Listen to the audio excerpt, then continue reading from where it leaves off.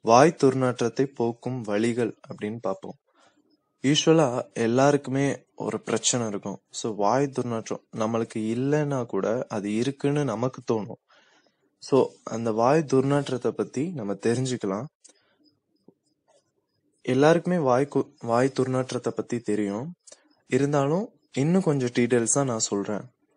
வாய் குழியிலிருந்து கெட்ட அப்படி இல்லைன்னா அருவத் அருவருக்கத்தக்க வாடை அந்த ஒரு நாத்தம் வந்து வீசுவது தான் வந்து வாய் துர்நாற்றம் அப்படின்னு எல்லாருக்கும் தெரியும். ஸோ மருத்துவத்துறையில வந்து இதை என்னன்னு சொல்றாங்கன்னா ஹைலி டோசிஸ் அப்படின்னு சொல்றாங்க. ஸோ மருத்துவத்துறையில இத வந்து இன்னொரு பேர் வச்சு கூப்பிடுறாங்க. Fetor oris oral malodour fetor ex ore போன்ற இன்னும் சில பெயர்களால அழைக்கப்படுது. தோராயமா இது வந்து ஐம்பது பர்சன்டேஜ் மக்கள் தங்களுக்கு வாழ்ந்து வாய் துர்நாற்றம் அப்படி இருப்பதாக நினைக்கிறாங்க. சிலர் வந்து வாய் துர்நாற்றம் இல்லாமலே தனக்கு வந்து வாய் துர்நாற்றம் இருப்பதா நினைச்சு மிகவும் கவலைப்படுறாங்க. வாய் துர்நாற்றம் இருந்தும் அதை பற்றி தெரியாமலும் சிலர் இருப்பது உண்டு. நமக்கு வாய் துர்நாற்றம் இருக்கா அப்படி இல்லையா அப்படின்னு நம்ம செக் பண்ணி பார்க்கணும்னா நம்ம பெஸ்ட் ஃப்ரெண்ட்ஸ் அப்படி இல்லைன்னா நம்ம பெஸ்ட் ரிலேட்டிவ்ஸ் அந்த மாதிரி இருந்தால் அவங்க கிட்ட நம்ம பேசி நம்ம தெரிஞ்சுக்கலாம். ஏன்னா நாளை பின்ன நம்ம வெளியிலே போனாலும் அதர் பர்சன்கிட்ட பேசும்போது கண்டிப்பா நமக்கு அந்த ஃபீலிங்ஸ் வரும். ஸோ முன்னக்கூடியே செக் பண்ணிக்கிறது நமக்கு நல்லது. ஸோ வாய் துர்நாற்றம் ஏற்பட காரணங்கள் வந்து என்னென்னன்னு நம்ம பார்க்கலாம். தொண்ணூறு பர்சன்டேஜ் பேருக்கு வாய் துர்நாற்றத்திற்கான காரணங்கள் வந்து வாய்க்குள்ளேயே தான் இருக்குது மிச்சம் ஒரு டென் பர்சன்டேஜுக்கு வந்து உடல் உறுப்புகள்ல இருந்து வருது. ஸோ வாயில உணவு துணுக்குகள் சிக்கி தங்கி விடுவதும் பற்களின் மேலும் நாக்கின் மேலும் பாக்டீரியா படலம் உருவாவதுமே வந்து வாய் துர்நாற்றத்திற்கு பெரும்பாலும் காரணங்களா இருக்கு. இந்த பாக்டீரியாக்கள் வந்து உணவு துணுக்குகளை சிதைக்கும் போது சில அருவருக்கத்தக்க மனம் கொண்ட வாயுக்கள் வெளிவருது. ஸோ குறிப்பா எளிதில் ஆவியாகக்கூடிய சல்பர் சேர்மங்கள் வந்து இது போன்ற துர்மணம் கொண்டுள்ளவை. துர்நாற்றம் ஏற்படுவதற்கான சில காரணங்களை நம்ம பார்க்கலாம். பற்களை வந்து சுத்தமா வைத்துக் கொள்ளாமல் இருப்பது. ஸோ இது வந்து முக்கியமா ஒண்ணு. ஸோ தினமும் பற்களை வந்து நன்கு துலக்காவிட்டால் கண்டிப்பா அவ்வப்போது பல் இடுக்குகளை சுத்தம் செய்யாவிட்டால் அல்லது சாப்பிட்ட பிறகு வாயை சுத்தம் செய்யாவிட்டால் உணவு துணுக்குகள் வந்து வாயிலே தங்கிரும். இப்படி வந்து தொடர்ந்து இந்த மாதிரி பற்களை சுத்தமா வைத்து கொள்ளாமல் இருந்தோம்னா பற்கள்ல மேல உற்ற தன்மை உள்ள பாக்டீரியா படலம் அதாவது ஃபிளேக்குன்னு சொல்லுவாங்க அது வந்து கண்டிப்பா அது ஏற்பட்டு ஈறுகள்ல எரிச்சலை வந்து ஏற்படுத்தும். அது வந்து சின்சிஃபைட்டஸ் அப்படின்னு சொல்றாங்க. மேலும் பற்களுக்கும் ஈறுகளுக்கும் இடையில வந்து பிளேக் வந்து கண்டிப்பா உருவாகலாம். அது வந்து பெரியாடன்டைட்டிஸ் அப்படின்னு சொல்றாங்க. நாக்கின் மேலையும் பாக்டீரியாக்கள் வளர்ந்து வந்து துர்நாற்றத்தை ஏற்படுத்தும். செயற்கை பற்களை அதாவது டென்ச்சர்ஸ் அப்படின்னு சொல்லுவாங்க பொருத்தி இருப்பவர்கள் வந்து பற்களை அவ்வப்போது சுத்தம் செய்யாவிட்டால் கண்டிப்பா அவங்களுக்கும் பாக்டீரியா வந்து வளர்ந்து சுவாசத்துல துர்நாற்றம் ஏற்படும். நம்ம உணவு பழக்கம். குறிப்பா சில வகை உணவுப் பொருட்கள் பற்கள் பற்களுக்கு வந்து இடையே தங்கிவிடக்கூடியவைகளாக இருக்கு. யூஸ்வலா பாத்தீங்கன்னா சிக்கன் மட்டன் பூண்டு அந்த மாதிரி எல்லாம் இருக்கும். அது வந்து வாய் துர்நாற்றத்திற்கு வாய்ப்பை அதிகரிக்குது. என்னன்னு பாத்தீங்கன்னா வெங்காயம் பூண்டு மற்றும் சில காய்கறிகளும் சில மசாலா வகைகளும் வாய் துர்நாற்றத்தை ஏற்படுத்தும். புகைப்பிடிக்கும் பழக்கம் இருப்பவங்களுக்கு அதாவது சிகரெட்டு இல்லைன்னா பீடி இல்லைன்னா ஏதாவது ஆல்கஹால் அந்த மாதிரி சாப்பிட்டா கண்டிப்பா வந்து வாய் துர்நாற்றம் ஏற்படும். புகையிலை பொருட்களை வாயில் போட்டு மெல்லும் பழக்கம் உள்ளவர்களுக்கும் ஈறு சம்பந்தப்பட்ட நோய்கள் ஏற்பட அதிக வா- அதிகமாக வாய்ப்பு இருக்கு. வாய் துர்நாற்றத்திற்கு இதுவும் வந்து உணவும் வந்து ஒரு முக்கியமான காரணம். ஸோ வாயில் நோய் தொற்று இன்ஃபெக்ஷன் ஏற்படுது. எப்படி ஏற்படுதுன்னா பற்சிதைவு ஈறு சம்பந்தப்பட்ட நோய்கள் வாய்ப்புண் பல் பிடுங்குதல் அல்லது வாயில் அறுவை சிகிச்சை செய்ததால் ஏற்பட்ட காயங்கள். இப்படினாலும் வாய் துர்நாற்றம் ஏற்படும். வாய் வறட்சி. ஸோ சில பேர் வந்து வா தண்ணி அதிகமாக குடிக்காம இருப்பாங்க. ஸோ அவங்களுக்கெல்லாம் பார்த்தீங்கன்னா வெயில் காலத்துல எல்லாம் ரொம்ப வந்து வாய் வந்து வறண்டு போயிருக்கும். சோ அவங்களுக்கான முக்கிய முக்கியமான இது வாய் வறட்சியும் வாய் துர்நாற்றத்தின் ஒரு முக்கிய காரணமா இருக்கலாம். வாயில் சுரக்கும் உமிழ்நீர் வந்து வாயை சுத்தம் செய்து துர்நாற்றத்தை ஏற்படுத்தும் துணுக்குகளை சுத்தம் செய்கிறது. ஜெரோஸ்டோமியா அப்படின்னா வாய் வறட்சின்னு சொல்லுவாங்க. அந்த பிரச்சனை இருப்பவங்களுக்கு உமிழ்நீர் சுரப்பது வந்து குறைஞ்சு அதனால் வந்து சுவாச துர்நாற்றம் ஏற்படும். மூக்கடைப்பு இருப்பவர்கள் வாயின் வழியாக சுவாசிப்பதால் வாய் வந்து வறண்டு போவதாலும் சுவாச துர்நாற்றம் ஏற்படலாம். தூங்கும் போதும் வாய் வறட்சி கண்டிப்பா ஏற்படும். வாயை திறந்தபடி தூங்கும் பழக்கம் உள்ளவர்களுக்கு இது வந்து அதிகமா ஏற்பட வாய்ப்பு இருக்கு. அத்துடன் சில மருந்துகளோட பக்க விளைவுகளாலும் வாய் வறட்சி ஏற்பட்டு அதன் விளைவாக வாய் துர்நாற்றம் ஏற்படும். தொண்டை மற்றும் மூக்கில் ஏற்படும் பிரச்சனைகள். உள்நாக்கில் நோய் தொற்று அதாவது டான்சில்ஸ் இன்ஃபெக்ஷன்ஸ் அப்படின்னு சொல்லுவாங்க. பிரச்சனைகள் உள்- அந்த அந்த பிரச்சனை உள்ளவ சிலருக்கும் உள்நாக்கில் பாக்டீரியா படலம் இல்லாட்டினா பாக்டீரியா படர்ந்த சிறு கற்கள் இருக்கலாம். இதுவும் வந்து வாய் துர்நாற்றத்தை ஏற்படுத்தும். மூக்கு சைனஸ் அல்லது தொண்டையில நீண்ட காலமாக இருந்து வரும் நோய் தொற்றுகளாலும் சுவாச துர்நாற்றம் ஏற்படும். மற்ற காரணம் என்னன்னு பார்க்கலாம். இந்த சில நோய்கள் வளர்ச்சி இதை வந்து மாற்றத்தினால கோளாறுகளும் குறிப்பிட்ட சில வேதிப்பொருட்களை உருவாக்கலாம். அவற்றால் ஒரு வகையான நாற்றம் ஏற்படலாம். உணவானது வயிற்றிலிருந்து உணவு குழல்ல மேலேறி எத்தனைக்கும் பிரச்சனையோ நெஞ்செரிச்சல் நோய் அதாவது கேஸ்ட்ரோம் இசோஃபேஜியல் ரிஃப்ளெக்ஸ் என்கிறோம். இந்த பிரச்சனை வந்து நீண்ட காலமா இருப்பவங்களுக்கு இவ்வாறு எத்தனைக்கும் உணவு சிதைவதாலும் வாய் துர்நாற்றம் ஏற்படும். வாய் துர்நாற்றம் எப்படி வந்து வகைப்படுத்தப்படுதுன்னு பார்க்கலாம். ஸோ இது வந்து உண்மையான வாய் துர்நாற்றம் போலி வாய் துர்நாற்றம் ஹெலிட்டோபோபியா அப்படின்னு சொல்லுவாங்க. ஸோ இதை வந்து விரிவாக்கமாக பார்க்கலாம். உண்மையான வாய் துர்நாற்றத்தில் உடலியல் காரணங்கள். இதில் உடலில் பிரச்சனை எதுவும் இல்லை. ஆனால் முக்கியமாக உணவு சிதைவதாலேயே இது வந்து துர்நாற்றம் ஏற்படுது. இந்நில இந்நிலையில நாக்கினோட பின்புறம் அந்த பின்னாடி இருந்து வர்றது துர்நாற்றம் வந்து வருது. நோயியல் பெத்தாலஜிக் காரணங்கள். வாய் சம்பந்தப்பட்ட காரணங்கள்ல வாயின் குறிப்பிட்ட நிலைகள் அல்லது கோளாறுகள் மற்றும் வாய் வறட்சி அல்லது பெரியடான்டைட்டிஸ் போன்ற பிரச்சனைகளின் காரணமாக நாக்கின் மேல் உருவாகும் படலங்களால் வாய் துர்நாற்றம் ஏற்படலாம். வாய்க்கு வெளியே உள்ள காரணங்கள் பற்றி பார்க்கலாம். சில சமயங்கள்ல வாய் துர்நாற்றத்திற்கான காரணம் மூக்கு தொண்டை அல்லது சுவாச குழாயிலும் இருக்கலாம். சில சமயம் வந்து சர்க்கரை நோய் மற்றும் கல்லீரல் கோளாறுகளால் கல்லீரல்ல இருந்து வ- வெளிவரும் வேதிப்பொருட்களாலும் துர்நாற்றம் வந்து ஏற்படலாம். போலிவாய் துர்நாற்றம். அதாவது சிலர் வந்து வாய் துர்நாற்றம் இல்லாமலே வந்து எனக்கு வந்து வாய் துர்நாற்றம் இருக்கு அப்படின்னு வந்து சிலர் நினைப்பாங்க. இதை வந்து போலி வாய் துர்நாற்றம் அப்படின்னு சொல்றோம். ஹெல்டோபோபியா சிலர் வந்து வாய் துர்நாற்றம் அல்லது போலி வாய் துர்நாற்றத்திற்கான ட்ரீட்மெண்ட் பண்ணியிருப்பாங்க.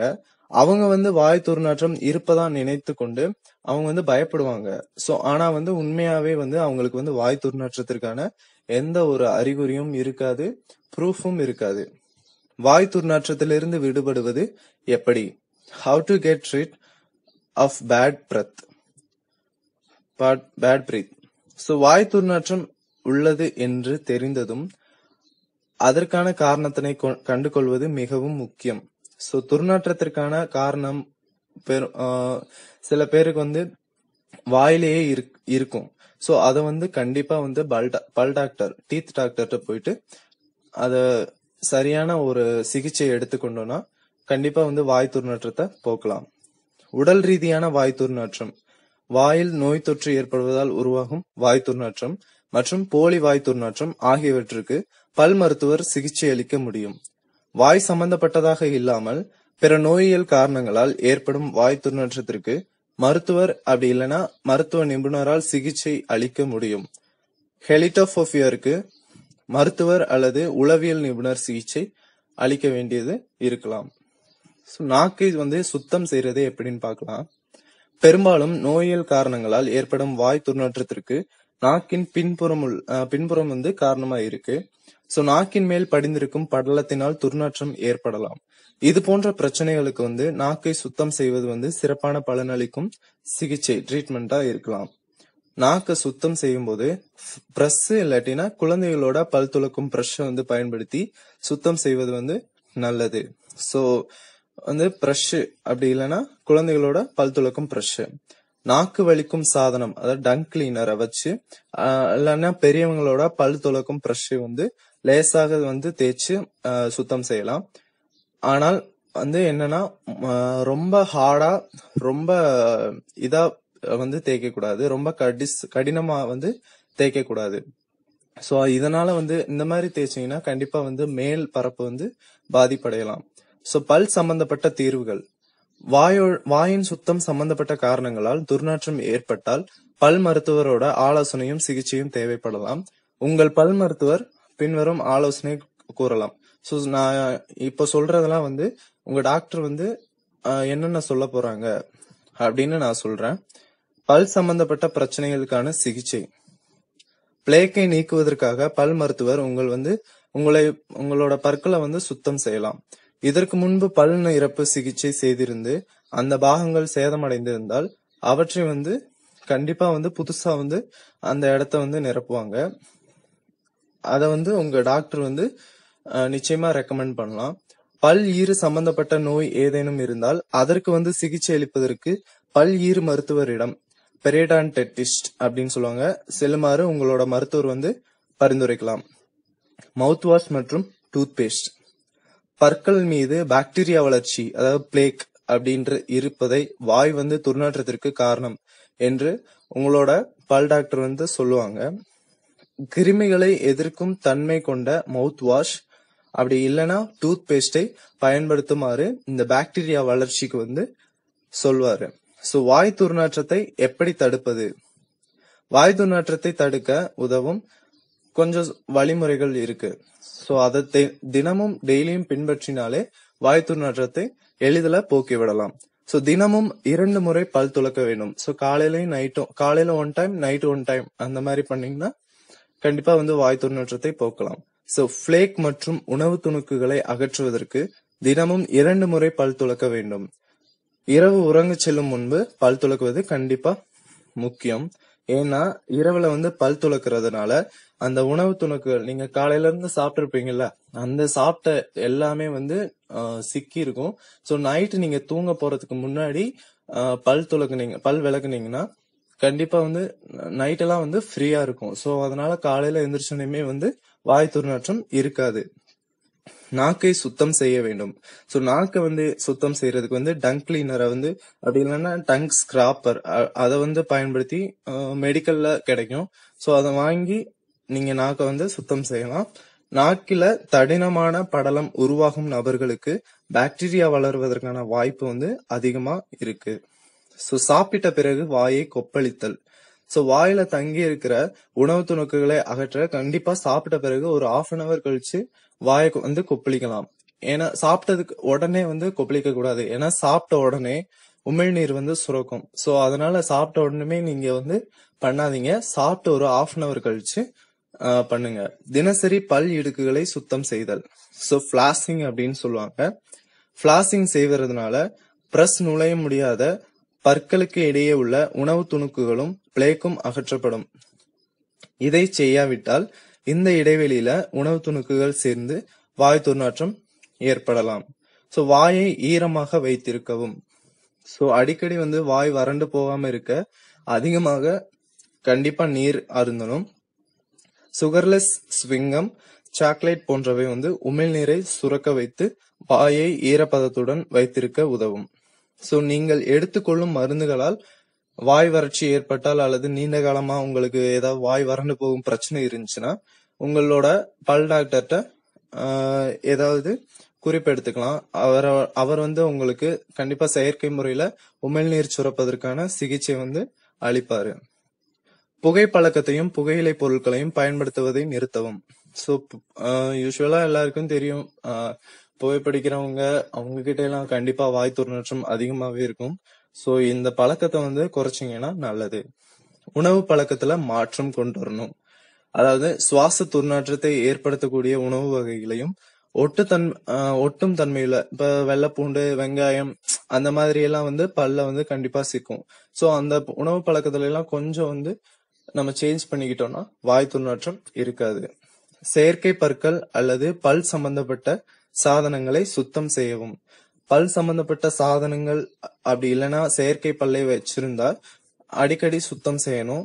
அதற்கு உங்களோட பல் மருத்துவர் பரிந்துரைக்கும் அந்த ப்ராடக்ட்டை வந்து அந்த பேஸ்ட் அந்த டூத் பேஸ்டோ அதை வந்து தான் பயன்படுத்தணும். அவ்வப்போது பல் மருத்துவரிடம் சென்று பரிசோதனை செய்து கொள்ளணும். ஸோ வருடத்திற்கு ஸோ ஒரு வருஷத்துக்கு ஒரு தடவை அப்படி இல்லைன்னா ஆறு மாசத்துக்கு ஒரு தடவை அந்த மாதிரி போய் பல் டாக்டர்கிட்ட போயிட்டு கண்டிப்பா செக் பண்ணிக்கோங்க. செக் பண்ணிட்டு பற்களை வந்து சுத்தம் செய்யணும். பல் வந்து சம்பந்தப்பட்ட நோய்களையும் சுவாச துர்நாற்றத்தையும் கண்டிப்பா இது வந்து தடுக்க உதவும். ஸோ டெய்லி வந்து இந்த மாதிரி வாய் துர்நாற்றத்தை எப்படி அகற்றணும் அப்படின்னு நான் சொல்லியிருப்பேன். ஸோ அந்த மாதிரி டெய்லி வந்து நீங்க பின்பற்றினீங்கன்னா கண்டிப்பா வந்து வாய் துர்நாற்றத்தை வந்து போக்கலாம். ஸோ இந்த வீடியோ வந்து உங்களுக்கு பிடிச்சிருக்கும்னு நினைக்கிறேன். மேலும் இது போன்ற நல்ல தகவல்களை பெற உடனுக்குடன் தினமொரு தகவல் நியூஸ் சேனலை சப்ஸ்கிரைப் பண்ணுங்க. இந்த வீடியோ பிடிச்சிருந்துச்சுன்னா கண்டிப்பா ஷேர் பண்ணுங்க லைக் பண்ணுங்க கமெண்ட்ஸ் பண்ணுங்க. அப்பதான் வந்து நீங்க சப்ஸ்கிரைப் பண்ணாதான் உங்களுக்கு வந்து வீடியோ வந்து உடனுக்குடன் கிடைக்கும். நன்றி வணக்கம்.